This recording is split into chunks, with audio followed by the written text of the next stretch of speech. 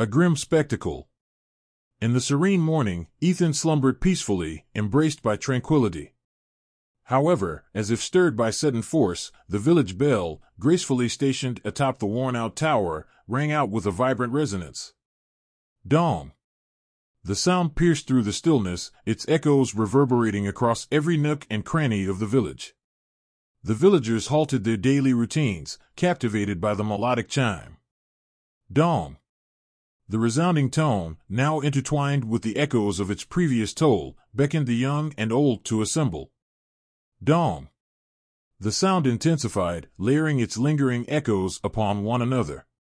Conversation ceased, and laughter gave way to hushed whispers. The bell's vibrations enveloped Ethan's heart, rousing him from his slumber with a startled surprise. What's happening? he wondered aloud. Just then, his parents burst into his room, their faces filled with urgency. Ethan! Wake up! The villagers have been summoned to the main plaza. I never wanted you to witness this, but sometimes things are inevitable, his father explained, his voice laced with concern.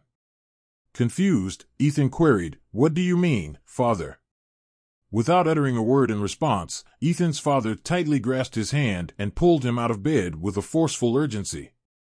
His mother trailed closely behind, wearing a perturbed expression on her face.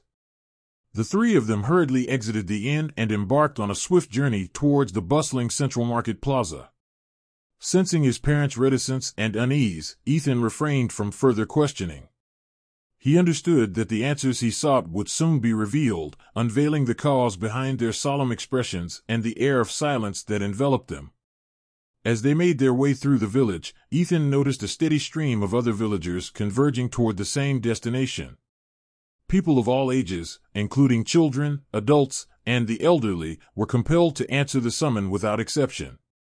The atmosphere buzzed with a mix of curiosity and apprehension, evident in the hushed conversations that drifted around him. How long has it been since we had a public execution? whispered one villager to another. I can't recall, but it must be something serious for it to happen in public, responded the second villager, his voice tinged with curiosity. As Ethan caught snippets of the nearby conversations, he couldn't help but be surprised by the words he overheard. The mention of a public execution served as a chilling reminder that he resided in a world where lawlessness and barbarity still prevailed. In moments like these, it was easy to forget the darker aspects of the society in which he resided, the execution ground was a grim and eerie sight, bathed in an atmosphere heavy with solemnity. The scene evoked a sense of grandeur mixed with an unsettling sense of unease. The onlookers had gathered, their expressions ranging from morbid curiosity to quiet despair. The crowd stretched as far as the eye could see, a mass of faces that reflected a mixture of emotions. At the forefront of the execution ground stood a raised platform, a stage upon which the condemned would face their fate. Thick, iron chains dangled ominously, binding those unfortunate souls about to face their final moments. Surrounding the platform were guards, their expressions stern, a clear reminder of the seriousness of the situation. As the executioner stood poised with his massive weapon, the crowd's murmurs subsided into an eerie silence. The anticipation grew palpable as the final moments leading up to the execution hung heavy in the air. It was a scene of somber spectacle, Ethan's gaze fell upon the group of individuals who were forcefully brought into the execution platform. There were five of them, three men who looked like they had seen their fair share of life, probably in their mid thirties. There was also a young woman, maybe in her mid twenties, her eyes filled with a mix of fear and resignation. And then there was this young boy who barely seemed like he had even become an adult yet, his eyes wide with vulnerability. As soon as the condemned were securely positioned on the platform, a man with a dignified presence emerged. He commanded attention with his striking figure, exuding an aura of authority and wisdom. Towering above the crowd, he stood tall and possessed a commanding presence. Adorned in elegant robes, his regal attire added to his air of grandeur, demanding the respect and attention of all who beheld him. Ahem. Ladies and gentlemen, I am here today as an emissary of the Empire, entrusted with the solemn duty to execute the will of our revered ruler, he proclaimed, his voice resolute. Each of the individuals standing before you has been condemned to death by imperial decree. He continued, his tone measured yet filled with conviction, all three men standing before you has been found guilty of desertion from their military post, a betrayal of their duties, and a breach of the trust bestowed upon them by the Empire. The abandonment of their comrades and responsibilities has undermined the integrity of our armed forces. As Ethan observed, he grasped the underlying purpose behind this grim spectacle. It was a display meant to instill fear among the citizens who were compelled to take up arms in the Empire's ongoing battle against monsters and oppositions. The constant struggle against these threats had necessitated the Empire's need to deter deserters and rebels through such fear-inducing measures. The execution served as a stark reminder of the consequences awaiting those who chose to abandon their military duties or rise against the Empire, ultimately aiming to maintain order and discourage willful thinking. A sense of indignation surged through Ethan. Those bastards are taking it too far, he muttered under his breath. The spectacle of the public execution seemed excessive in his eyes. He couldn't help but feel a growing discontent with the Empire's methods, perceiving them as overly harsh and lacking in compassion. The emissary continued his speech, gently shifting his gaze to the young woman. This wench has been found guilty of the grave crimes of blasphemy and heresy. By openly defying the divine order and challenging the beliefs upheld by our empire, she has disrupted the spiritual harmony that is crucial to our society. Blasphemy. Ha! You damn imperial demons are nothing but conniving snakes, using the name of God to push your twisted agendas and manipulate your blind followers like mindless sheep. Don't think you'll get away with your wicked schemes. The day of reckoning will come, and the fires of hell will claim your deceitful souls. You'll get what you deserve, you filthy liars and power hungry demons, the woman spat out with fierce contempt, her words filled with disdain. The emissary paused, the weight of the woman's defiant words hanging heavily in the air. In that moment, a silent exchange passed between the emissary and the executioner standing beside the condemned woman. No words were needed, as the understanding was conveyed in a single glance. Without hesitation, the executioner's axe swiftly descended, severing the woman's life with a chilling precision. The crowd stood in shocked silence. A sickening display of crimson liquid burst forth from the severed neck, drenching the air in a downpour of otherworldly red liquid. It cascaded through the atmosphere, twisting and contorting in a morbid mid-air dance, evoking an unsettling sensation that permeated the entire execution ground. Splash! Splash! With a nauseating momentum, her head hurtled down the stage, bouncing and rolling with a grotesque sound. Each jarring movement of the tumbling head traced a grotesque path, leaving behind a trail of glistening blood. Despite the horrifying scene that unfolded before them, the onlookers found themselves transfixed, unable to tear their horrified gazes away. Ahem, my apologies for the abrupt interruption. Now, let us proceed, the emissary declared. Finally, his eyes settled upon the young man, the one who seemed barely an adult. The young man had committed no crime himself. However, his father's ill-fated actions had insulted the pride of a nobleman, resulting in a severe punishment that extended to their entire family. As a cruel form of retribution, the empire's decree mandated that all members of his family, including his son, were to face the punishment of beheading. Ethan's mind was reeling with disbelief and shock as he listened and witnessed the unjust fate befalling the young boy. It was utterly inconceivable that someone so young, appearing no older than 12 or 13, could be condemned to such a tragic end for a mistake that was not his own. As the weight of his impending fate settled upon him, the young boy could no longer contain his emotions. Dad! Dad, he sobbed, his voice choked with grief. Please, someone, save me. I didn't do anything wrong. I beg you. His voice echoed through the crowd, a desperate plea for mercy, as he reached out to anyone who would listen. His anguished cries carried the weight of an injustice of a life cut short. The reality of the situation gripped the hearts of onlookers, leaving them in pained silence, unable to provide the solace and salvation that the boy desperately sought. Poor boy! Ethan whispered, his voice trembling with emotion. The weight of the situation pressed heavily upon Ethan's soul as he grappled with the injustice of it all.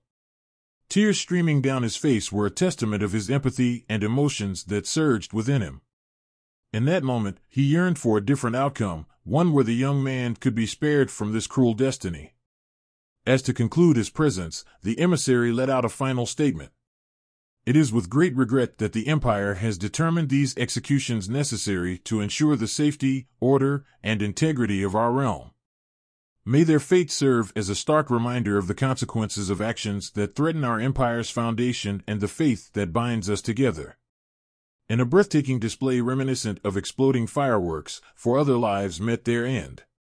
A cacophony of color erupted from their severed necks, painting the air with a mesmerizing symphony of vibrant crimson hue.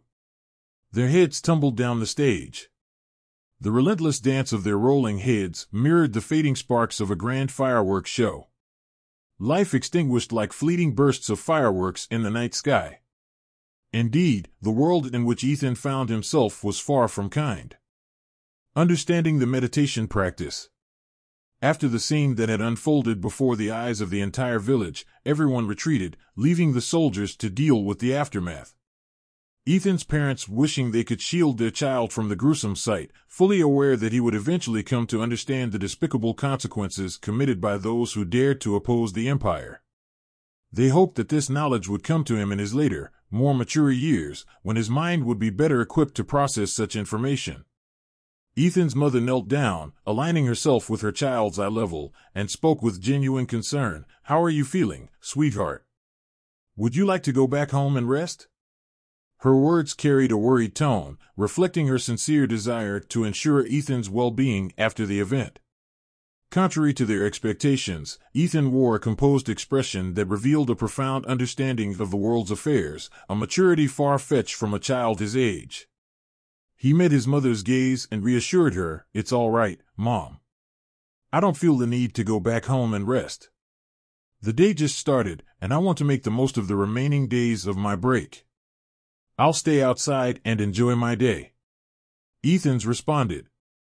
Ethan's mother found herself somewhat surprised by his response and demeanor. Surprisingly, a hint of sadness welled up within her as she sensed a subtle detachment, almost as if her role as a nurturing mother was being diminished by his unusual maturity. In this moment, a realization struck her her child had always possessed a distinctness that set him apart from other children.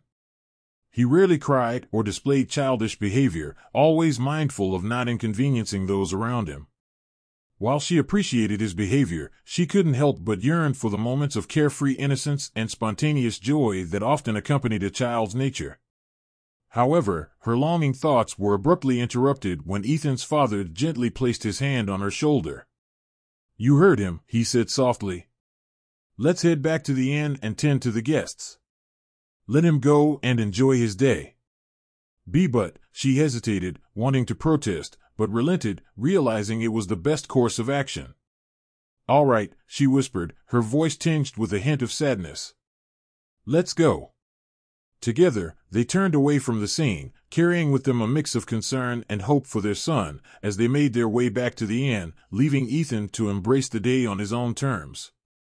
Ethan, briefly noticing his mother's sadness, couldn't help but wonder internally, why did she seem so sad? Nevertheless, he quickly dismissed his curiosity, eager to focus on the task at hand. Oh well, he exclaimed cheerfully. Let's head to the spot under the tree and begin practicing the second chapter. As Ethan settled beneath the shade of the familiar tree he had been at yesterday, he embarked on his practice, leaving behind the concerns of the outside world, if only for a while. With a deep breath, Ethan settled into a comfortable position, ready to embark on his first task of meditation. He closed his eyes, allowing the outside world to fade away as he directed his attention inward. The sound of his own breath became the anchor, grounding him in the present moment. However, as Ethan delved deeper into his practice, he soon discovered that quieting his mind was no easy task. Despite his best efforts, distractions seeped into his consciousness, persistent and unrelenting. An errant thought would arise, leading him down a rabbit hole of worries and to-do lists. Noises from outside would break his concentration, disrupting the tranquility he sought. Undeterred, Ethan tried various techniques to find stillness within his mind. He experimented with focusing on a single word or mantra, hoping it would act as a mental anchor. Yet, the mantra seemed to not make any difference. Next, he attempted visualization, picturing a serene and tranquil place in his mind. He envisioned a peaceful meadow, with gentle breezes rustling through the tall grass. But even in his imagined sanctuary, the noise of his thoughts persisted. Feeling a tinge of frustration, Ethan shifted his approach once more. He continued to sit in stillness, acknowledging the distractions that arose without judgment. With each session, he learned to gently guide his attention back to the breath, cultivating a sense of presence and acceptance. Ethan realized that meditation was not an instant mastery. It required patience, perseverance, and a willingness to accept the imperfections of the journey. Though he faced challenges in quieting his mind, he understood that these obstacles were part of the process, teaching him valuable lessons about the nature of his own thoughts. Ethan refused to view his attempts as failures. Instead, he embraced the experience as an opportunity for growth. He reminded himself that meditation was not about achieving a perfect state of serenity, but rather a practice of gentle redirection. Undeterred by his initial setbacks, Ethan persevered in his pursuit of meditation. Time seemed to blur as he devoted his break to repeating the practical exercise day after day. He approached each attempt with renewed mindset of continuous improvement. Days turned into nights, and nights into days, as Ethan immersed himself in the practice of meditation. He recognized that progress was not always linear, and that the true measure of success lay in his unwavering commitment to the process. What he had was time, and he would make sure to make use of it. With each repetition, Ethan honed his ability to quiet his mind and let go of distractions. He developed a keen awareness of the flow of his breathing. As the days unfolded, he began to notice subtle shifts in his practice, an increased ability to observe his thoughts without getting entangled in them, a growing sense of calm and inner stillness. Then, at the final day of his week's break, as if by a stroke of luck, it happened. Ethan found himself immersed in a state of constant meditation, a state where he could empty his mind in command. The days of dedication and perseverance had borne fruit. It was at this moment Ethan grasped the essence of meditation, recognizing its significance and providing him with a clean canvas of sort. This blank canvas offered him the freedom to sketch his vision without the clutter of unnecessary distractions. With this clarity, Ethan embarked on the next step, infusing his canvas with his envisioned manifestations by vividly visualizing each detail he sought to bring to life. One out of three completed. Time for the visualization practice. Parallel Insight After devoting his entire week off to practice his meditation manifestation, Ethan resumed his usual day to day routine, assisting his parents with managing affairs at the inn. Ethan's responsibilities encompassed a diverse range of tasks. In the mornings, he delighted customers by serving them breakfast that his mother made, while the afternoons he diligently cleaned and prepared empty rooms for incoming guests. As night fell, he served dinner to the very same guests. It was during his bedtime that Ethan carved out precious moments for himself, dedicating around two hours to studying and practicing. While many would perceive it as a mundane and dreary routine, Ethan found immense pleasure in his daily endeavors. Firstly, he enjoyed the opportunity to meet new people and immerse himself in their captivating stories. Through these interactions, he not only acquired a solid grasp of the local language, but also discovered entertainment out of their tales, where elements of fantasy seamlessly intertwined with reality. The presence of these fantastical elements made his interest soar to new heights, knowing they actually happened. Moreover, Ethan's studies were not imposed upon him by his parents or society, rather, they were driven by his own volition.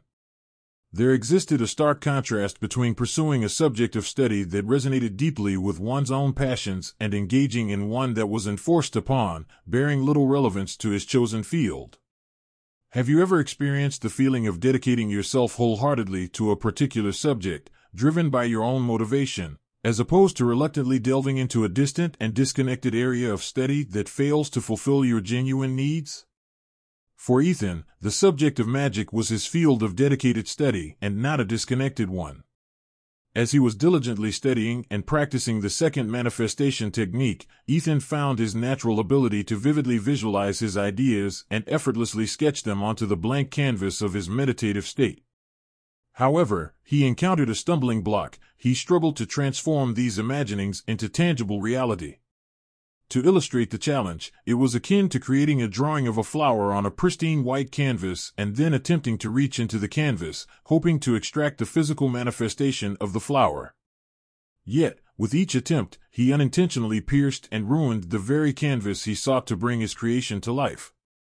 Ethan reached a juncture where he felt completely stagnant, uncertain of how to proceed. He was genuinely stuck. The task of manifesting his vision into reality seemed insurmountable, leaving him exclaiming in frustration, Seriously, how in the world am I supposed to bring my vision to life? It's like asking someone how they got a fancy house, and they respond with, Oh, it's all thanks to the power of manifestation. Well, that's just as helpful as asking a single person how to get into a relationship. Ethan found himself stuck, yearning for someone knowledgeable to guide him through the subject. Alas, he was left to navigate the intricacies of the book's content on his own, without the luxury of external assistance. This stagnant phase persisted for months, stretching even beyond his seventh birthday, with no concrete results to show for his efforts. His mind became an overcrowded maze of thoughts, brimming with ideas on how to make things work.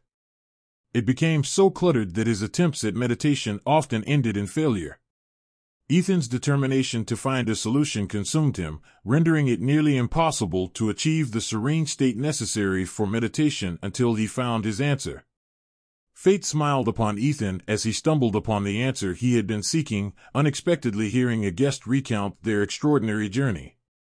And then, out of nowhere, the guest enthusiastically shared, this man whipped out a simple wooden plank. To my astonishment, the center of the plank began to rise, gradually forming a conical shape. But that wasn't the end of it.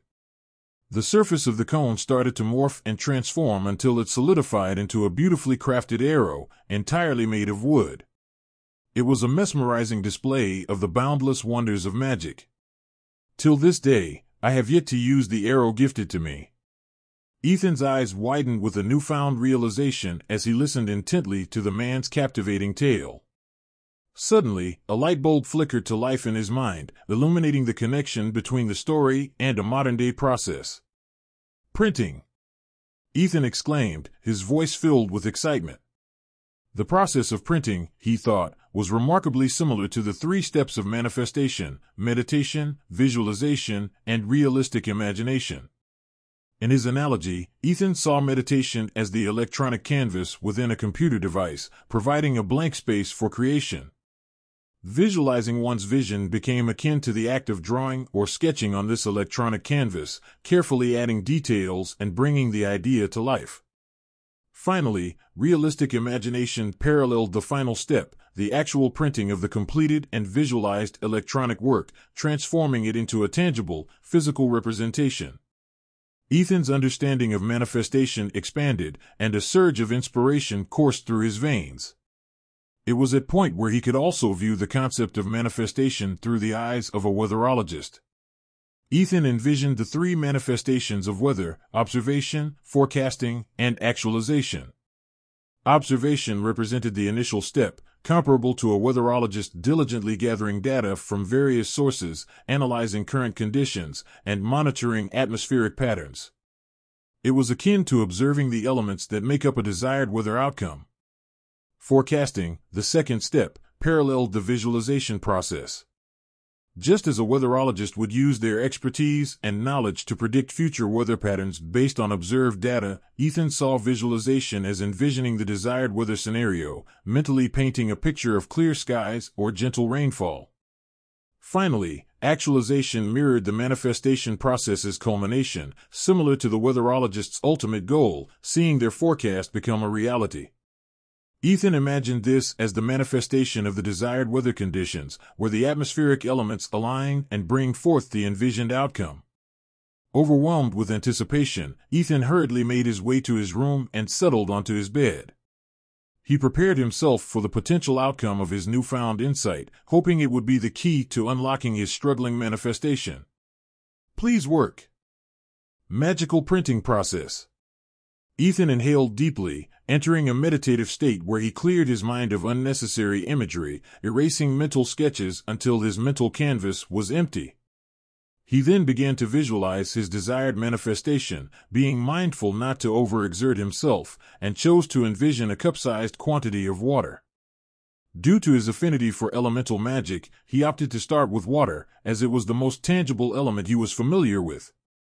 Wind was difficult to visualize since it was essentially invisible, and he didn't want to risk burning himself with fire if he failed to control it. Learning to control water first would provide him with a safeguard in case of accidental burns. Now faced with the choice between earth and water, he ultimately decided on water. Why? Because water formed the foundation of his field of study and was the element he was most acquainted with. He knew the taste, touch, and scent of water intimately, having used it for hydration, cleaning, and as a component in food. Immersed in the process of manifesting his desired reality, Ethan delved into the intricacies of a concept he called the magical printing process. Using the power of his imagination, he envisioned his mind as a blank canvas ready for creation, while his hand became the catalyst for the printing process, comparable to a printer itself. In his mental landscape, he visualized the image he wanted to bring into existence, akin to observing it on a computer screen. The next step was to establish a connection between his mind and the palm of his hand, mimicking the act of pressing the print button on a computer to link it with a printer. In the depths of his contemplation, Ethan sensed a remarkable connection emerging between his consciousness and his physical body. A subtle and newfound energy began to flow through his veins, an enigmatic current that he had never before experienced. With each breath he took, he became more finely attuned to the intricate currents that intertwined within him, resonating with his mental image. As Ethan persisted, the fusion of the printing analogy and the magical essence became palpable. He harnessed the elemental magic coursing through his veins. It was as if his thoughts materialized into ethereal ink flowing through the conduits of his being. With a resolute intention, Ethan initiated the final act. As his hand became the enchanted printer, he willed the manifestation into reality. In a breathtaking moment, the water he envisioned surged forth, emerging as if from the depths of an otherworldly reservoir. It flowed delicately into his palm, a testament to his success. Yes. Finally. Overwhelmed with exhilaration. His voice reverberated with a fervent triumph that echoed through his room. For what felt like an eternity, Ethan had dedicated months, if not nearly a year, to figure out the intricacies of this particular task. There were moments along the way when frustration threatened to consume him, tempting him to surrender. Yet, driven by an unyielding determination, he persevered. In the aftermath of his success, Ethan found himself in a state of amusement. It dawned on him that he had, in fact, dabbled in the mystical arts, a notion he never fathomed would become a reality. On Earth, this idea would have been dismissed as pure fiction, the stuff of whimsical tales. Yet, in this realm, he possessed the power to turn his fantasies into tangible existence. Chuckling to himself, Ethan couldn't help but exclaim, Am I an honest to goodness magician now? Move over, Harry Potter. It's time for Harry Potter 2.0. With a playful twinkle in his eye, he imagined himself donning a wizard's robe, brandishing a wand, and embarking on whimsical misadventures. The absurdity of the situation brought a gleeful grin to his face as he waved the water around. While basking into the euphoria of his achievement, Ethan abruptly felt his body succumbing to a peculiar weariness and his mind drifting towards a state of unconsciousness. Unbeknownst to him, he surrendered to slumber, awakening the following morning with no recollection of having slept through the night. His entire body throbbed with soreness, reminiscent of the aftermath of an intense workout from the previous day. Agger, why does my body ache so much? Ethan questioned his current state, bewildered by the discomfort. As he pondered the source of his agony, a distinct knocking sound reverberated from outside his room. Knock, knock, Ethan, are you still asleep? I'm coming in, Ethan's mother announced, entering his room. Sorry, Mom. I lost track of time. Let me get ready, Arg. Perplexed by Ethan's distress, his mother drew closer, placing a gentle hand on his forehead. Huh? You're burning up. Oh, my poor baby, you must have pushed yourself too hard. Take as many days off as you need to recover, dear. Your father and I can handle the inn while you focus on getting better. I'll take care of you and nurse you back to good health. His mother expressed a mixture of concern and a touch of joy, finally embracing the opportunity to nurture her child after an extended period. Really? Thank you, mother, Ethan responded, gratitude in his voice. Now, go and get some rest. I'll return later to bring you a comforting bowl of warm soup, his mother said with a light-hearted giggle as she merrily made her way out of Ethan's room. Once assured that his mother had departed the room, Ethan retrieved his book, his body still protesting with each movement. With a considerable effort, he managed to open the book to the next page, hoping to discover some insight into his current condition. Page 4. 2.4 Nexus Points In our exploration of the source of magic, we must not overlook the significance of the Nexus Points. Nexus points are channels of magical energy that crisscross one's mana vein, forming a network of energy pathways. These points act as conduits, facilitating the flow of magical power across one's physical body. They also often exhibit unique characteristics and pathways that can vary in an individual's magical affinity. By understanding the geography and dynamics of their own nexus points, the magician can strategically tap into and amplify the flow of magical energy becoming attuned to the subtle currents that weave through their body, enhancing their magical powers. However, it is important to recognize that the act of manifesting magic is not without consequences. The exertion of magical powers consumes a vital essence known as mana. Mana is akin to a wellspring of energy within, a reservoir from which the magician draws to manifest their magical prowess. When one delves too deeply into their well of mana, pushing their limits beyond what they can sustain, there are repercussions. If a magician were to consume all their mana at once, an overwhelming surge of power would course through their being, causing a temporary depletion of energy. As a result, the magician would lose consciousness, only to awaken later with an aching body, drained from the immense strain they had endured. It is imperative for practitioners of magic to understand the delicate balance between utilizing their mana and preserving their well-being. To avoid such physical and mental exhaustion, magicians must learn to pace themselves, replenishing their mana through rest, meditation, and tapping into the natural energy flows of the world around them.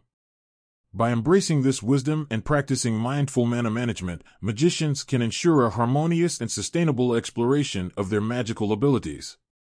So, dear reader, remember to respect the limitations of your own mana and cultivate the balance necessary for the safe and effective manifestation of your magical powers. As you harness mana, you'll observe your reservoir expanding alongside your proficiency. Additionally, the complexity of a spell correlates directly to the amount of mana being used. Remember to comprehend your personal boundaries to avoid irreversible repercussions. Turn the page to being the third chapter, The Elemental Forces. No wonder I feel this way. Ethan exclaimed. I've consumed all my mana pool by maintaining the water in my palm. I guess I know what I should be doing before I proceed into the next chapter. As days turned into weeks, Ethan dedicated himself to mastering the control over water and understanding his current mana limitations. He spent hours practicing intricate movements, manipulating small droplets and guiding them with precision. His efforts gradually paid off as he began to summon water effortlessly, shaping it in graceful arcs. He paid close attention to the sensations within his body, honing his ability to perceive when his mana pool was nearing its limit. With diligence and perseverance, Ethan's control over water improved, and he became attuned to the subtle fluctuations in his mana. He learned to adjust his practices accordingly, ensuring he did not overexert himself or deplete his energy completely. As Ethan continued on his magical journey, a full year had passed. It wasn't until his eighth birthday that he finally felt confident enough to proceed to the next chapter. Unforeseen confrontation. Ethan went about his daily tasks in the early morning. He greeted guests, ensuring their needs were met and that their stay were comfortable. While working, his father called out to him, Ethan, we're running low on bread. Could you do me a favor and go pick up a fresh batch from your uncle? Ethan nodded, acknowledging his father's request. Of course, Dad. I'll head over to Uncle's bakery right away. The man to whom Ethan's father referred was not his true uncle, but rather a trusted business partner. Ethan's father held a prominent position as a well-established businessman in their village. Within the kingdom, the prevailing currency was known as the lirum, a distinctive monetary unit crafted exclusively from a rare ore and through the intricate practice of alchemy. The scarcity of this currency in the daily lives of ordinary citizens necessitated a reliance on barter and trade. Ethan's father devised a unique method to manage these transactions. He struck a beneficial deal with his business partner, allowing him to reside in one of their rooms without charge in exchange for regular deliveries of freshly baked bread. This arrangement proved advantageous since the inn often had vacant rooms throughout the year, enabling Ethan's father to turn this exchange into a profitable venture rather than incurring a net loss. Using a portion of the obtained bread, he would barter with the local butcher for meat, ensuring a certain quantity of meat was acquired in exchange. This acquired meat would then serve as a trade asset for a corresponding amount of vegetables and fruits. This systematic approach to conducting trades allowed Ethan's father to sustain the inn without experiencing losses. Through these carefully orchestrated exchanges, Ethan's father navigated the challenging economic landscape, ensuring the inn remained a viable and thriving establishment within the village. Leaving the inn momentarily, Ethan set out on a familiar route toward the bakery owned by his uncle, a jovial and skilled baker renowned for his fresh bread. The scent of freshly baked goods permeated the air as he approached the bakery stand. Ah, Ethan. My boy, what brings you here today? Uncle exclaimed, his flour dusted hands working deftly with dough. Dad sent me to pick up some bread for the inn. Ethan replied with a warm smile. Chuckling, Uncle placed a selection of aromatic loaves into a woven basket. Tell your father these are my freshest of the day, made with extra care. I hope they satisfy the hungry guests.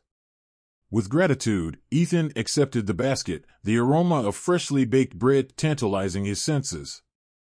Thank you, Uncle. I'll see you later. As Ethan turned around, preparing to make his way back to the inn, he inadvertently collided with an individual of similar height. The unexpected impact sent both of them tumbling to the ground. Agur! Agur! Startled by the collision, a man dressed in a butler's attire quickly approached the young boy whom Ethan had accidentally bumped into. Young master, he exclaimed, concerned for his well-being. Apologizing for his inadvertent collision, Ethan extended a hand to help the other person up. I'm sorry about that. I didn't see you, he expressed with genuine remorse. To Ethan's astonishment, the young boy responded with a swift slap, rejecting his helping hand. The unexpected act caught Ethan off guard, leaving him momentarily stunned. The boy, assisted by his butler, composed himself and began dusting off his expensive garments with an air of superiority. How dare you? A peasant like yourself dares to display such disrespect, the young boy sneered, his tone dripping with disdain. Taken aback by the boy's hostility, Ethan recoiled, his brows furrowing with a mixture of surprise and confusion. Is this kid serious right now? he thought. The young man pointed towards three burly individuals standing nearby, commanding their attention. You! You and you, he barked, singling them out. Yes, SIR, responded the three imposing figures, their loyalty evident. You know what to do. On it, sir. Without warning, the three men forcefully pushed Ethan to the ground, launching a relentless barrage of kicks upon him. Each blow landed with a brutal impact, leaving Ethan defenseless and bewildered. Confusion and pain flooded his senses as he desperately tried to comprehend the reason behind this brutal assault. Agur. In the midst of the chaos, Uncle, the owner of the bakery stand, witnessed the horrifying scene unfolding. He rushed towards the young master, Sven, begging for forgiveness and pleading with him to understand that this was a mere accident. Young Master Sven, I implore you to pardon this clumsy boy. It was an unintentional mistake, Uncle pleaded, his voice filled with desperation. You better step aside if you know what's good for you. Otherwise, your shop won't be allowed to operate in this village anymore. Make your choice, right now. Sven retorted with a chilling threat. Uncle looked back at Ethan, torn between the consequences of aiding him or succumbing to Sven's demands. In a moment of anguish, he made his decision, stepping aside and whispering softly, I'm sorry. Ethan's mind swirled with confusion and disbelief, struggling to comprehend what he had done wrong to deserve such cruel treatment. The relentless assault continued, the pain intensifying with each strike. Bystanders observed the violent scene, yet none of them dared to intervene. Why aren't they doing anything? It hurts. Ethan's thoughts echoed in despair. Bam! Bam! The young man who had ordered the beating wore an expression of twisted amusement, finding pleasure in witnessing others reduced to the ground, powerless and humiliated. As an eight year old child, Ethan had no means to defend himself against such aggression. With no one willing to step forward and assist him, he felt compelled to adopt a demeaning posture in the hopes of avoiding further harm. Lowering himself even further, he submitted to the young man's superiority, as the alternative was being mercilessly beaten to the point of potential fatality. In a desperate bid to create a repulsive image, Ethan channeled his mana, focusing the energy into the palm of his hand. He conjured a cup-sized amount of water, discreetly placing it within the confines of his pants. Huh? What a disgusting insect, the young man sneered, abruptly ceasing the assault. Stop. I don't wish to be near him any longer. This disgusting insect has soiled himself. The ploy had succeeded, granting Ethan a momentary respite from the onslaught. However, the shame and frustration he felt at stooping to such measures gnawed at his spirit. He remained on the floor, his clothing torn and soiled, his body battered and bleeding. The pain overwhelmed him, rendering him incapable of movement in that moment. Ethan's uncle rushed over, his face etched with a deep sense of shame, and extended a helping hand to lift Ethan from the ground. Agger, thank you, uncle, Ethan murmured, acknowledging the support. His uncle hesitated, his voice laced with remorse. Listen, Ethan. I. Cutting him off gently, Ethan reassured him, Don't worry about it, uncle. I understand the circumstances you were in. I won't hold today's incident against you. Tears welled up in his uncle's eyes as he mustered the courage to apologize once more. I'm truly sorry. And can you please, you know? Understanding his uncle's unspoken request, Ethan nodded. Don't worry, uncle. I won't tell my father about this. I'll keep it to myself. With great effort, he managed to lift himself off the ground, his body aching and his movements strained. Limping towards the basket of bread that had been knocked to the floor, he resolved to carry on, though the pain and humiliation lingered in his heart. Introduction to Magical Theory I Chapter 3 Upon returning home, bearing the physical and emotional wounds from the unjust assault, Ethan swiftly placed the bread basket on the nearest table by the entrance of the inn. Raising his voice, he called out to his father, informing him of his return and the placement of the basket. Urgency filled his words as he tried to avoid his parents to conceal his current battered state. I'm back. I've put the basket on the table. His father began to respond in a room separate from his own. Oh. You're back. I'll be right th dash, but Ethan interjected, determined to retreat before his father were to see him. No problem. I'm going to go take a shower.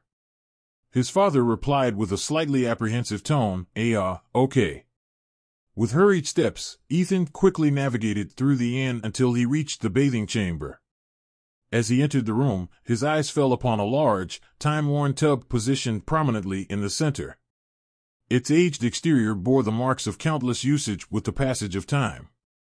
Below the tub, nestled into the stone floor, a cavity housed a collection of wooden sticks. Ethan started filling the tub with water. Carefully, he ignited the wooden sticks beneath the tub, flames emerging from below. Patiently, he tended to the fire, allowing the flames to gradually heat the water within the tub. As the water gradually warmed, Ethan undressed himself, placing his clothes into a hamper alongside other dirty clothes. He reached for a few wooden sticks, skillfully adjusting them to moderate the water temperature, ensuring it remained at a soothing level. Stepping into the welcoming embrace of the water, a profound sense of bliss enveloped him completely. Ah, he exhaled, surrendering to the tranquil sanctuary that awaited him. Ethan had cultivated a certain habit of utilizing bath time as a sanctuary for contemplation. The warmth enveloped him, instilling a sense of relaxation that allowed his thoughts to flow freely. He utilized this tranquil environment to delve deeply into any and all concerns that troubled him, relentlessly searching for viable solutions. In this moment, he focused his attention on the ordeal he had endured earlier that day. Gradually, his mind pieced together the puzzle, unraveling the identity of the individual responsible for his suffering. The evidence fell into place effortlessly. He had guards surrounding him, a butler at his beck and call, Ethan pondered, connecting the dots. Uncle referred to him as young Master Sven, and none of the villagers tried to stop him. It all adds up. This wretched individual must be the son of the village lord. The realization struck him with a mix of anger and resentment. The power and influence wielded by the village lord's son had granted him the audacity to perpetrate such acts of cruelty without fear of consequence. Ethan couldn't help but feel a surge of anger, but quickly calmed himself. Let's forget it, Ethan whispered to himself, a flicker of resignation in his voice. He recognized the implications of antagonizing the son of a nobleman, understanding the potential consequences that could befall his parents if he were to engage in open conflict. With a heavy heart, he acknowledged the bitter truth. Sinking deeper into the comforting embrace of the warm water, Ethan gradually submerged his head, temporarily blocking out the external world. In this momentary escape from reality, he sought solace, allowing the tranquility to wash over him and momentarily quiet his troubled thoughts. Following his refreshing bath, Ethan approached his parents to express his decision to end his duties for the day. Feeling unwell and in need of rest, he requested a break, a rarity for him. His parents readily agreed and wished him a good rest. As such, Ethan retreated to his room. Now, he whispered with a glimmer of excitement, shall we see what the third chapter holds? Retrieving his cherished book, he eagerly turned to the next page, ready to delve into the contents within its chapters. Chapter 3 The Laws of Magic. Page 5. We now delve into the fundamental laws that govern the practice of magic. These laws serve as the guiding principles that ensure balance, harmony, and responsible use of magical powers. Aspiring magicians must familiarize themselves with these laws to navigate the realm of magic with wisdom. 3.1 The Principle of Cause and Effect. One of the foremost laws that underpin the practice of magic is the principle of cause and effect. This law states that every action, intention, and manifestation in the magical realm has consequences. Whatever manifestation are set into motion through magical practices will inevitably result in corresponding effects, be it positive or negative.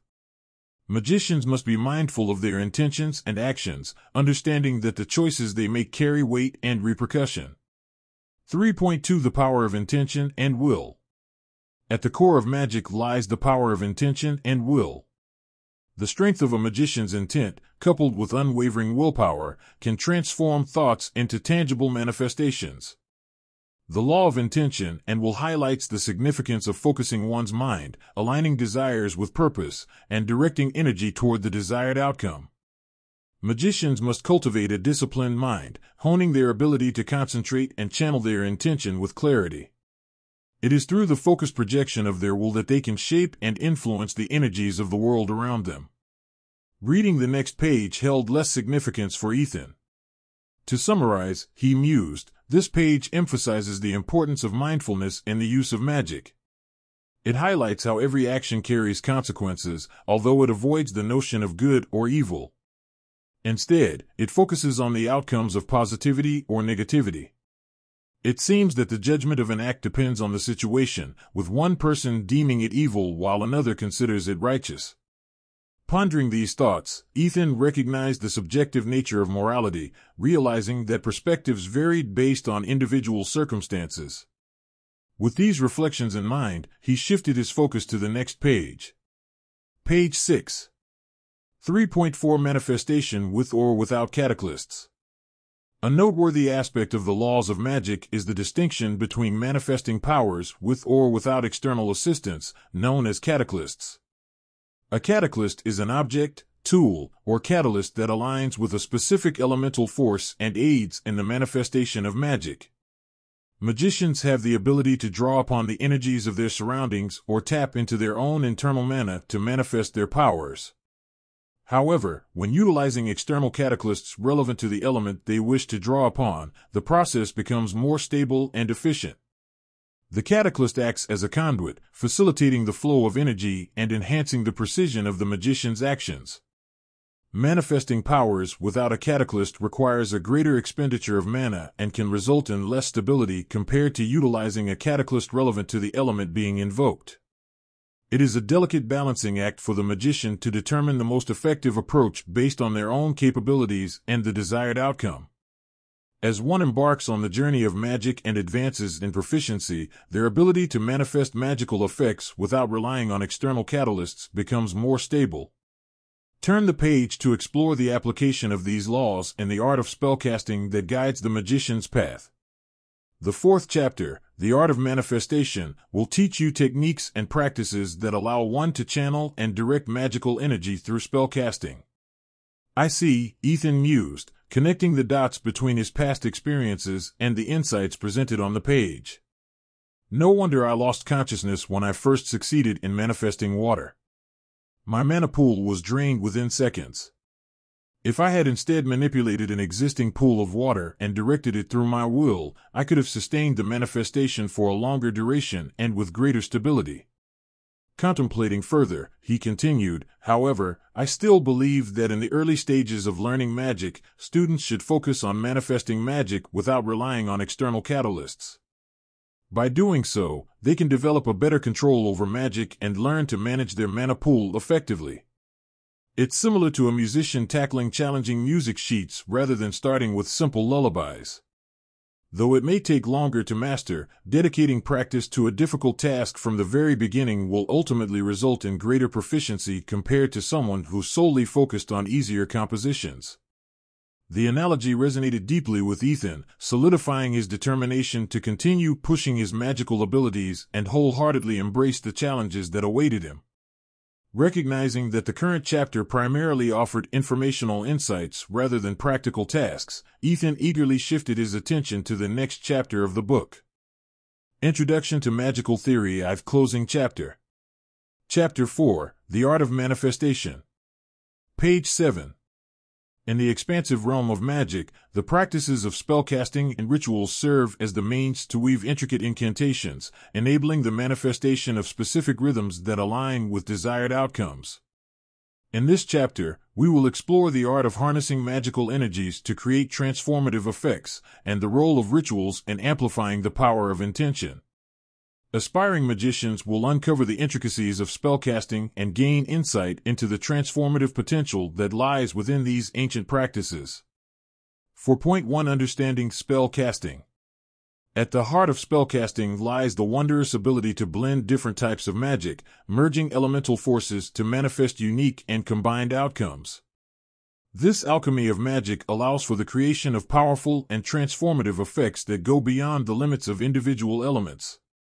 Let us explore the art of combining elemental energies to illustrate the boundless possibilities within spellcasting. Imagine the fusion of earth and water elements, harmonizing their distinct qualities to manifest a spell known as mud form. By skillfully combining the solidity and stability of earth with the fluidity and malleability of water, a magician can mold and shape mud with their intentions. This merging of elements creates a versatile medium that can be used for a grounding effect, or even as a physical medium used for numerous tasks. In this example, the magician taps into the essence of earth, drawing upon its grounding and nurturing qualities. Simultaneously, they access the fluidity and adaptability of water, infusing the spell with its transformative and purifying nature. Through the focused intent and mastery of elemental energies, the magician transcends the limitations of each element, weaving them together to manifest the desired outcome. This illustrates the beauty and power of spellcasting, as it allows the magician to combine and manipulate different elements or types of magic, transcending their individual properties to create something entirely new. By exploring and understanding the qualities and associations of each element, magicians gain the ability to blend them harmoniously, opening up a vast realm of creative possibilities.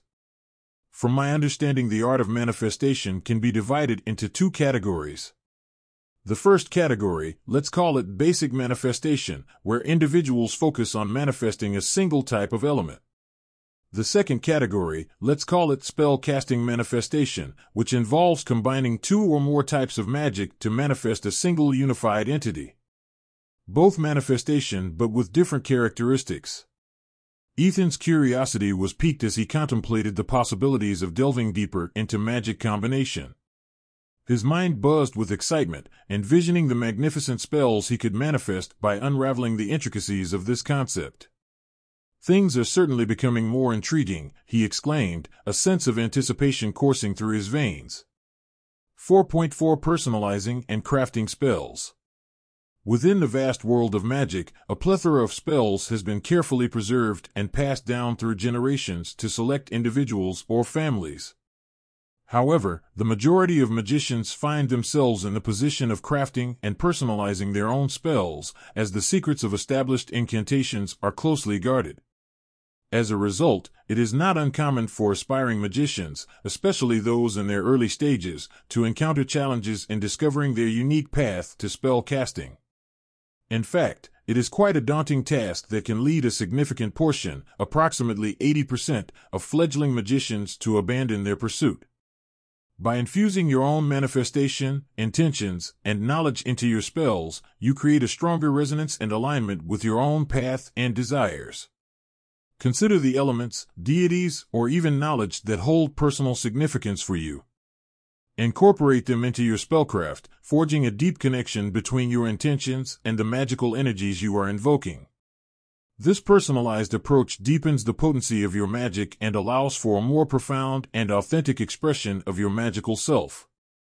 As the culminating assignment in the Introduction to Magical Theory I course, you are tasked with crafting and manifesting your very own spell, merging two of your preferred types of magic.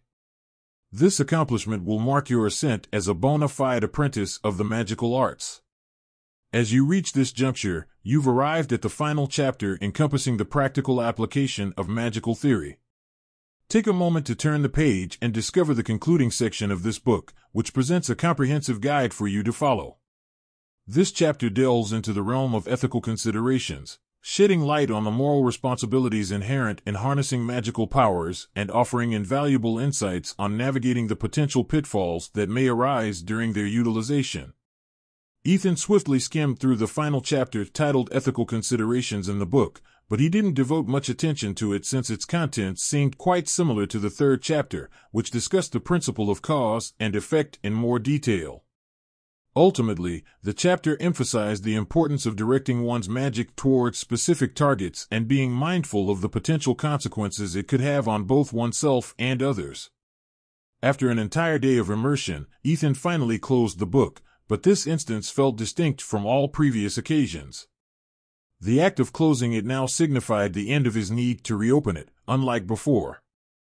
It had taken him a full two years to painstakingly read and comprehend every detail within its pages.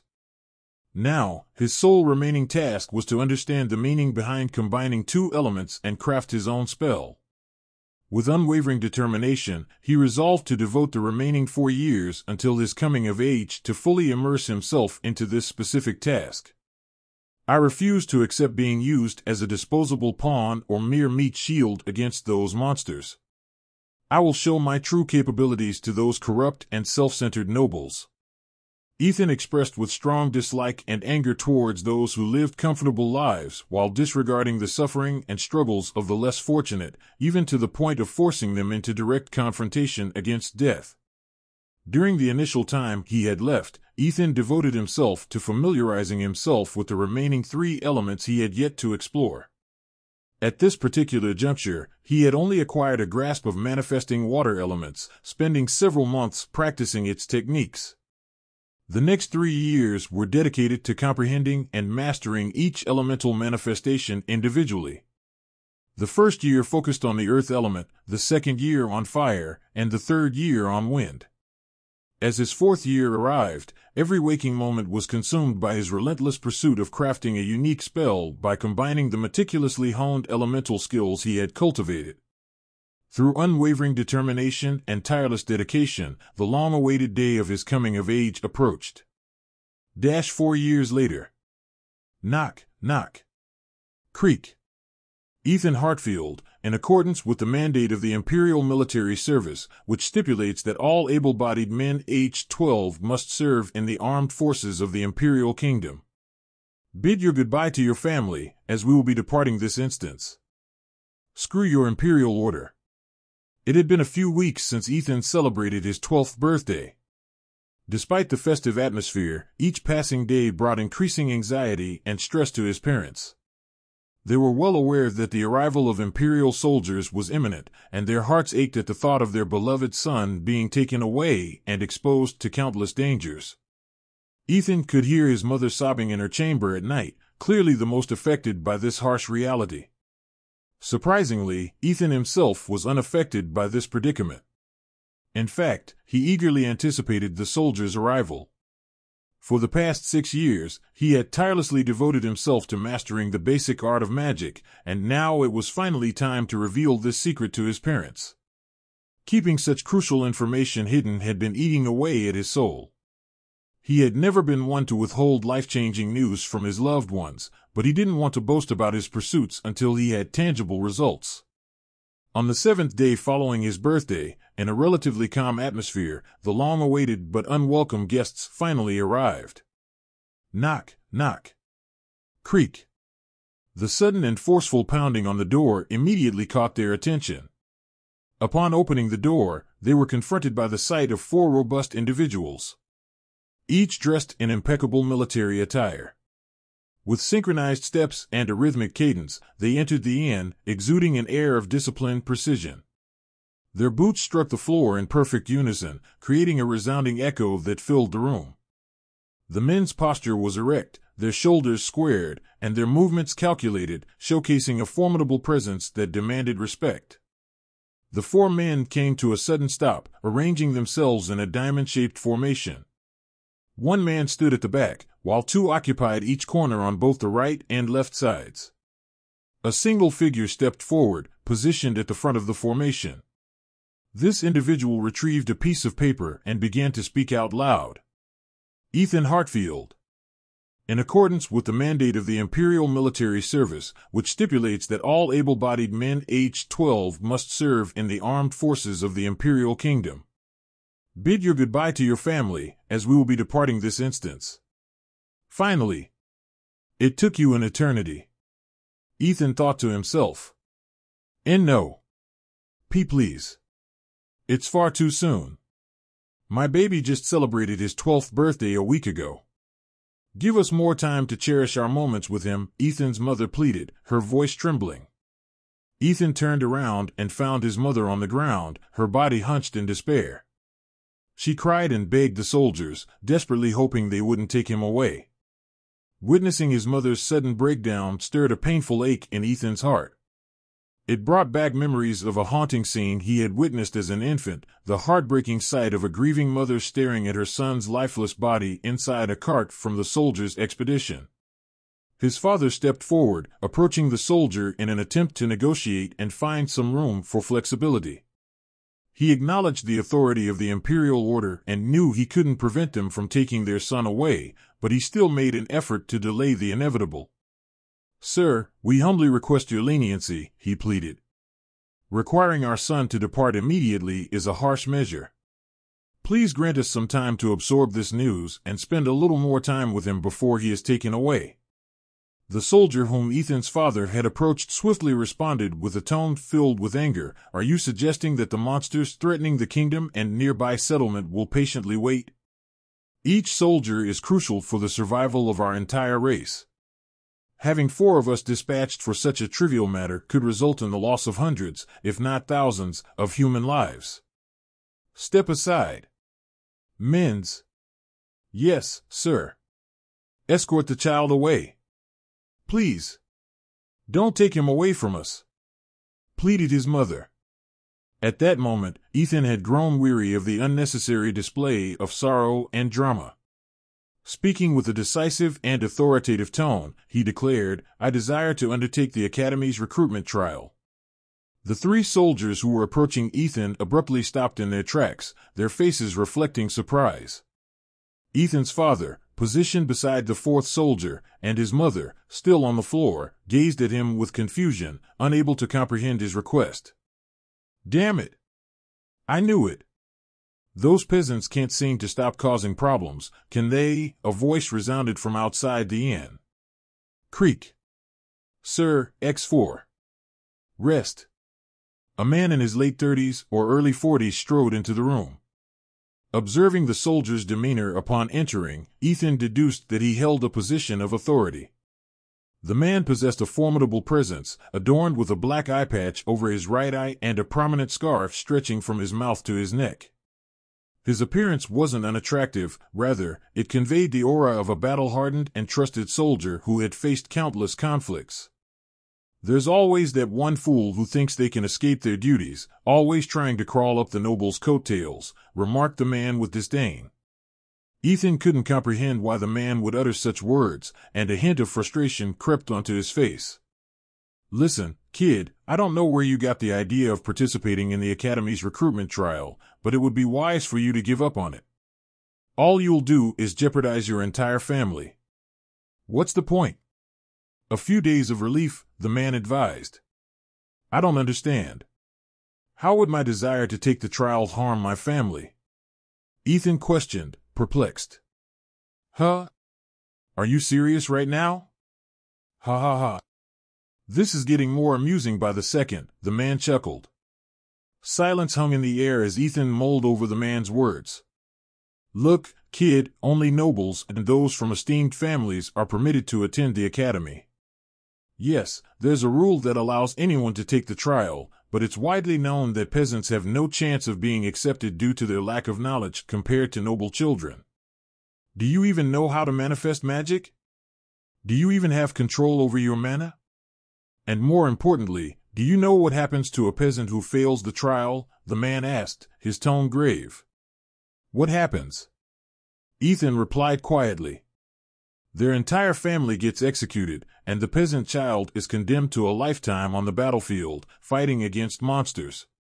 By requesting the trial, it's as if you're defying the imperial kingdom, saying, To hell with your imperial order, I'll act for my own gain, the man explained. With every word the man spoke, Ethan's anger grew. Each trigger word he used running away, noble's coattail, peasant, executed, defiance, imperial order, my own gain grated on Ethan's nerves. Ethan's gaze dropped to the ground, his previous self assurance wavering. The man's words planted seeds of doubt in his mind. What if I fail? My parents wouldn't be safe. I'm uncertain if my knowledge of magic is sufficient to pass the trial. Those nobles had mentors guiding them, while I had to navigate my own path. I have no benchmark to measure my abilities against. Would I be considered mediocre, at best, compared to those privileged noble children? Gradually, his confidence began to wane, and he felt himself on the brink of surrender. However, in that moment, a sudden warmth enveloped his head. Looking up, he saw his father smiling at him, his hand gently resting on Ethan's head. We believe in you, son. We may not understand what's going on, but we know there's nothing you can't accomplish, his father reassured him. At that very instant, all worries dissipated, and Ethan's confidence surged to new heights. Father, mother. Thank you, he expressed gratefully. Thoughts raced through his mind screw you, bastards. Am I not doing the same as those noble hypocrites? Aren't they also shirking their responsibilities? Who gave them the right to be exempt from the imperial orders? Shouldn't those with higher authority and power be the ones to take responsibility, not those who work for them? The ones who toil to fill their bellies with harvested crops, tend to their livestock, build their homes, and pay their taxes? Ethan approached the soldier who had berated his decision, meeting his gaze directly, devoid of fear or hesitation. With unwavering determination, he declared, I will take the trial. The soldier gazed at Ethan, fully aware that the child had made up his mind. He turned around and began walking away. Perplexed, Ethan and his parents stood still, unsure of what they should do next. However, their confusion was short lived as the soldier halted and turned to face them once more. The recruitment trial begins in three days. It takes two nights to reach the academy. We'll be departing in ten minutes, so gather your essentials, he informed them. Why, yes. Ethan responded eagerly. Rushing, Ethan packed his necessary clothing and his cherished book into his backpack. As he approached the door, he glanced back at his parents, their worry evident in their eyes. I can't explain everything right now, but I promise to share all the details with you once I pass the recruitment. Until then, please stay safe. Ethan assured them. Both of his parents exchanged a glance, their smiles conveying their support, and replied in unison, We believe in you. As Ethan stepped out of the inn, a hint of melancholy washed over him. This village had been his home for the entirety of his twelve years. For the first time since arriving in this world, he was leaving behind the familiar and venturing into the realm of the unknown. However, his excitement swiftly replaced any lingering sadness as he embarked on his journey towards uncharted territories. Get in, one of the soldiers commanded, gesturing towards the chariot. As Ethan climbed into the chariot, he was taken aback by the presence of an unexpected passenger. Huh? Disgusting. Why is a peasant boarding the chariot bound for the academy? The person exclaimed in disgust. Master Sven, this child has requested to participate in the academy's recruitment trial. We are obligated by law to allow him to join, one of the soldiers explained. Preposterous. What can a mere insect accomplish in the lion's den? Peasant, you'd better abandon your foolish aspirations and exit the chariot this instant. Master Sven sneered. Ethan sighed inwardly, realizing that he couldn't catch a break. This was the same person who, unjustly, had ordered his goons to harm him at the bakery stand. And now, to add insult to injury, it doesn't seem like he remembers what he did or who he was. The fact that this person was also participating in the same trial came as no surprise, given his noble lineage. Are you not going to respond to me? The hateful child demanded, growing impatient. Ethan met the gaze of the scornful child, taking a moment to gather his thoughts. With utmost sincerity, he replied, Suck my dick. W what? The shock on the hateful child's face was unmistakable, his anger flushing his face red. A are you courting death? Soldier! Execute this insolent pest immediately, he demanded, his voice trembling with rage. I apologize, Master Sven, but I cannot comply with your request. Once both you and the child entered this chariot, all privileges granted by your family status were nullified. In the academy, all participants and students are considered equals, and one's family authority cannot be used to overpower those of lesser stature, the soldier explained calmly but firmly. W. What nonsense is this? the hateful child exclaimed, refusing to accept the reality of the situation. Ethan, determined not to let this newfound privilege affect his resolve, interjected firmly, Didn't you just hear him? Are you deaf? Do you need me to summarize what he said? He clearly told you to shut up. Why you, Sven was abruptly cut off by a loud voice from outside. Men, we are departing now. Our destination is the Imperial Academy, LYRIA, the commanding voice echoed through the air. The announcement disrupted any further confrontation, redirecting the attention of both Ethan and Sven towards the imminent departure. They had no choice but to set aside their dispute for the time being and focus on the journey ahead. After a seemingly fleeting two days of travel, Ethan found himself gazing at the awe-inspiring sight before him. Imperial Academy, Lyria. First trial. After a journey spanning two days, Ethan reached his destination, the Academy. Rising proudly amidst an expansive and picturesque landscape, its magnificence sparked the imagination. Situated within vibrant, enchanted green plains, the academy exuded an air of profound wisdom and mystical power. The majestic spires soared towards the clouds, commanding attention and inspiring awe. Its architectural design flawlessly combined timeless grace with enchanting whimsy, featuring intricate archways and sweeping balconies that provided breathtaking view of the surrounding horizon. As Ethan approached the entrance gate of the academy, his eyes widened in awe. The gate stood as a formidable structure, crafted from polished iron and adorned with intricate carvings depicting mythical creatures and symbols of knowledge. Its imposing presence hinted at the prestigious institution that lay beyond. As he drew nearer, Ethan noticed a bustling scene of people, clad in vibrant robes of various hues, gathered near the gate, their anticipation palpable in the air. The murmurs of excitement filled the surroundings, blending with the occasional neighing of horses and the clattering of chariots. Indeed, the academy was abuzz with activity, preparing for the commencement of the recruitment trial. Chariots, adorned with colorful banners and drawn by spirited steeds, were stationed nearby, eagerly awaiting their turn to enter the academy's gate. Ethan exclaimed in awe as he witnessed the astonishing sight before him. Humph! Consider yourself privileged to be in this place. Make the most of your time here because once tomorrow's trial is over, you will return to where you belong, the young master, Sven, stated with a disrespectful tone. Throughout the past two days of traveling together, Ethan chose not to acknowledge or engage with Sven. He soon realized that the young master was constantly seeking attention, incessantly talking and attempting to provoke a reaction from him. Understanding his true nature, Ethan decided to ignore him completely. Soon after, the chariot abruptly stopped and the soldiers who had accompanied them to the academy opened the door. We have reached our destination, you will be staying at this inn until the recruitment trial begins tomorrow morning. Until you are accepted into the academy, you are not allowed to venture outside. We will return here to pick you and take you to the trial site. Am I being understood? stated the soldier sporting the black eye patch. Ethan and Sven nodded in agreement, indicating their understanding. After the soldiers departed, Ethan and Sven silently entered the inn and acquired the keys to their respective rooms, behaving as if they were complete strangers who had never crossed paths. The night swiftly passed, giving way to the morning of the awaited trial. As promised, the soldiers arrived and collected Ethan and Sven, escorting them to the designated trial site. The trial site was a vast arena. It was a picturesque scene, framed by towering seats that provided an overhead view of the arena.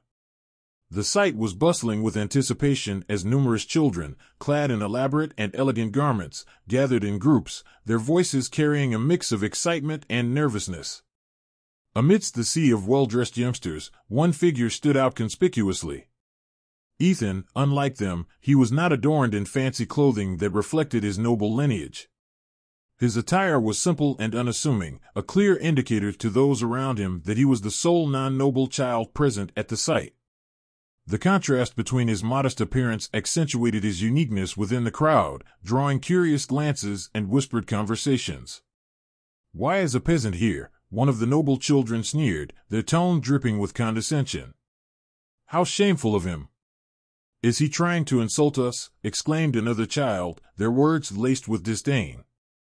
You, his mere presence denigrates this holy place, scoffed a disdainful noblewoman, her judgmental gaze fixed upon Ethan. The whispered remarks and judgmental stares reverberated through the air, casting a shadow over Ethan's presence at the trial site. The weight of their derisive comments bore down upon him, but he remained stoic despite the skepticism that surrounded him. As a few minutes ticked by, the attention of the gathered participants was abruptly drawn to a figure standing atop one of the elevated pillars encircling the arena. All eyes turned towards the mysterious man, whose commanding presence emanated an air of authority and wisdom. His posture was regal, his gaze penetrating, as if he held the key to their destinies in his hands. A hushed silence settled over the crowd, awaiting his words that would set the course of the upcoming trials. Welcome, the man's voice echoed throughout the arena, resounding with an otherworldly quality that caught everyone off guard. Whoa, gasped the surprised onlookers, their eyes widening in amazement at the peculiar phenomenon.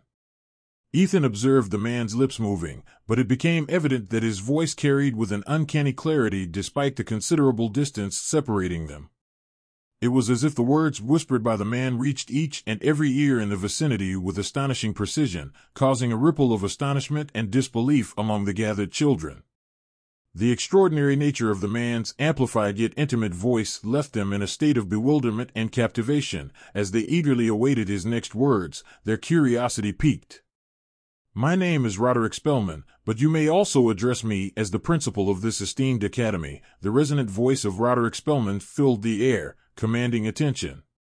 Today is a momentous occasion as it signifies the commencement of our annual recruitment trial, he continued, his words carrying a weight of significance that hung in the atmosphere. Ethan and the other children listened intently, their eyes fixed on Principal Spellman, aware of the rare opportunity that lay before them. The gravity of the occasion intensified as they realized the stakes and the potential impact it could have on their lives. The first recruitment trial is a straightforward one. Principal Spellman explained, his gaze fixed on the massive dark stone at the center of the arena. This stone has been meticulously crafted to reveal the power level of your spells and showcase the elemental combinations employed within them. Gesturing towards the stone, he continued, Your task is a simple yet challenging one. You must generate a crafted spell that inflicts a total of 10,000 numerical damage, utilizing a combination of two or more magical elements.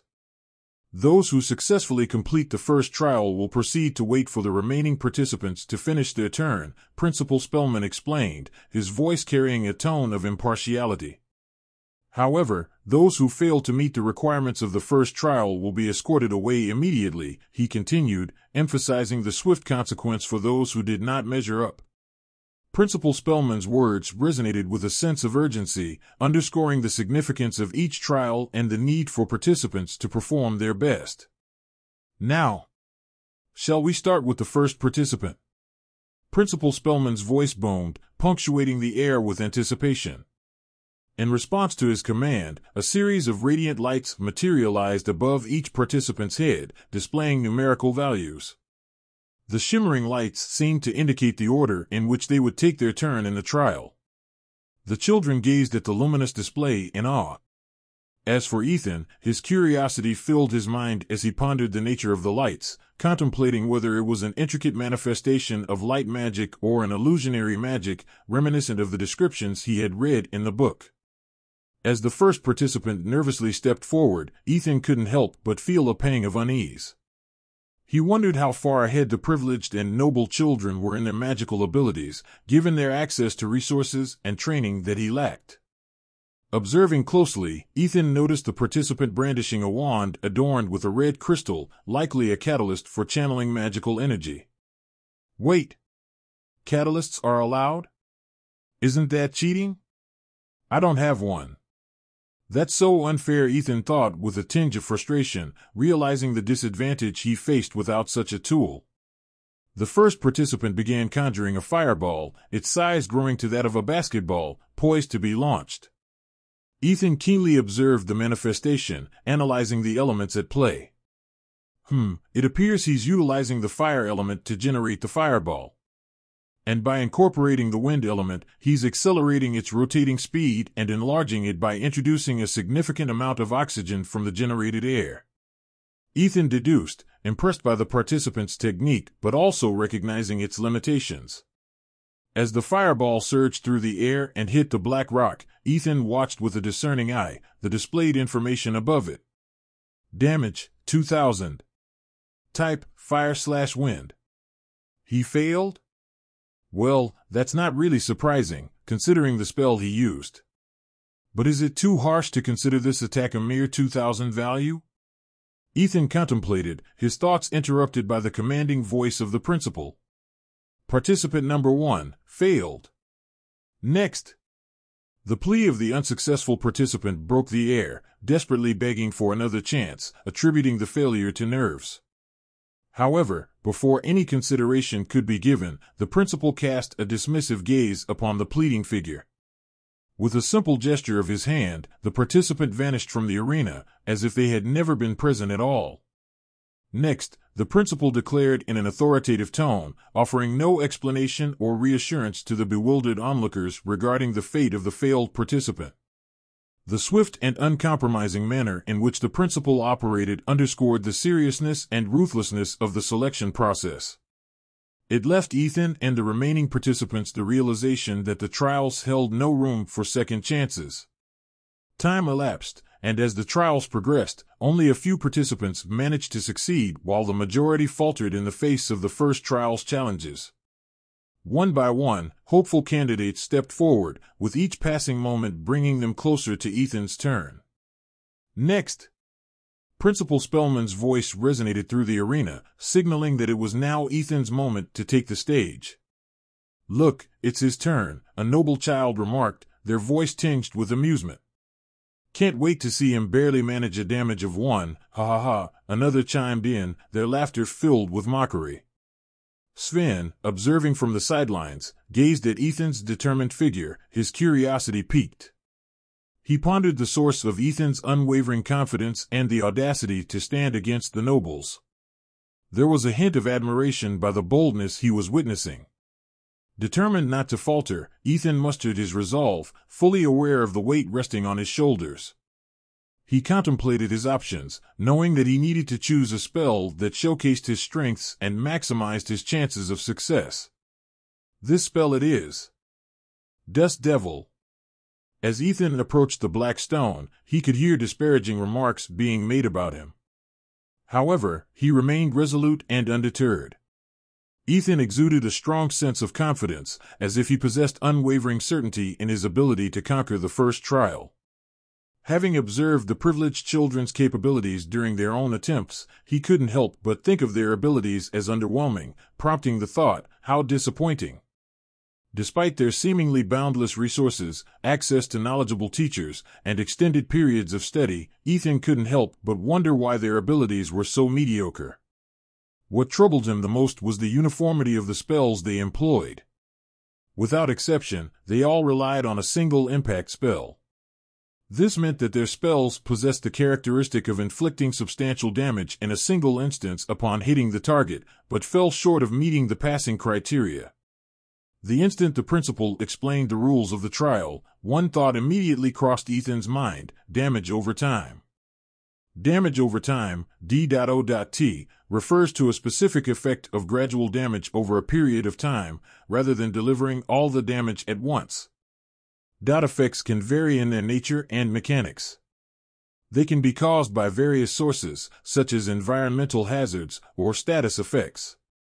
When a dot effect is applied to a target, it typically triggers an ongoing damage effect that persists until its duration expires or until it is cleansed or countered by specific means. Its main purpose is to introduce a strategic element to combat, which, in most cases, provides more total damage than an impact spell if used correctly. Ethan stood confidently. With a deep understanding of the formation of weather, he starts channeling the required elements to create his desired spell. In the wide open arena, Ethan initiated his manifestation by invoking the element of fire. With precise control, Ethan conjures intense heat, trying his best to mimicking the sun's effect, focusing the heat on the ground. As the heat warms the surface, it causes the air near the ground to become significantly hotter than the surrounding air. This creates a temperature difference between the ground and the air above it. This thermal gradient became the foundation upon which Ethan built his spectacle. As the heated air near the surface, lighter than the cooler air above, commenced its ascent due to reduced density, a gradual column of air rose with it, an effect known as the thermal effect. Expertly harnessing the wind element, Ethan skillfully guided the currents, employing intricate gestures to induce the rotational motion associated with the Coriolis effect. This atmospheric phenomenon causes moving air masses to deflect to the right in the northern hemisphere and to the left in the southern hemisphere, imbuing the rising column with a captivating spin. As the spinning vortex took form, visible to the naked eye, it swept up dust, sand, and other loose particles from the ground, transforming into a mesmerizing display of elemental might, a spectacle akin to a small tornado. Within this magnificent fusion of elemental magic, Ethan's command and mastery were undeniable. His creation, a testament to the harmonious blend of fire and wind, emerged as his own rendition of a dust devil, a testament to his skill and creativity. Ethan knew that dust devils were generally harmless and short-lived phenomena, lasting only a few minutes. They were much different from tornadoes, which are much larger and more powerful atmospheric vortexes that form under different weather conditions. But what he had in his possession was magical powers, as such, this limitation were of no importance to him. As to increase the intensity of the dust devil, Ethan added more strength to the rotational speed, which in turn increased its size and power. I'm not done yet. Having not reached the pinnacle of his creation, Ethan embarked on the final stage of his craft. With focused determination, he skillfully reconstructed the small pebbles within the dust devil, molding them into razor-sharp blades with meticulous precision. Each tiny shard transformed into a deadly instrument. As the dust devil obediently followed Ethan's command, it surged towards the formidable black stone, fixating itself upon its target. Stationed in place, the swirling vortex inflicted relentless damage, its destructive force escalating with each passing second, as evidenced by the mounting numerical values. Damage 123. Damage 265. Damage 405. Ethan maintained the presence of the Dust Devil for a full minute, its relentless assault unabated. Then, with a graceful wave of his hand, he skillfully controlled the wind currents, ensuring their paths were perfectly equal, removing the opposite forces that created the whirling effect. Displaying his mastery, the dust devil vanished as quickly as it had appeared, leaving no trace behind. The storm dissipated, as if it had never occupied that space at all. Simultaneously, the multitude of pebble shards, previously caught in the swirling winds, began their descent with a synchronized grace. Falling from the sky like rainfall. Damage 10,000. Type Fire slash Wind slash Earth. Ethan glanced at the information displayed above the black stone and a small smile formed on his lips, confirming his success. However, he noticed that the noble children stood before him in silence, their expressions frozen. Their unexpected reaction left Ethan puzzled, wondering what happened, what's wrong with them. Remarkable, the voice, now in close proximity, startled Ethan. Standing right beside him was Roderick Spellman, the principal of the academy. It was surprising, considering Roderick had been positioned on a distant pillar just moments ago. I've witnessed my fair share of spells that bear resemblance to yours, but there's something intriguingly distinct about yours, Roderick spoke with a sense of curiosity. It appears both simple and complex at the same time. Moreover, considering the size and intensity of this cyclone-like spell, it seems to require surprisingly little mana to maintain and summon. Typically, such spells demand a substantial amount of mana to sustain.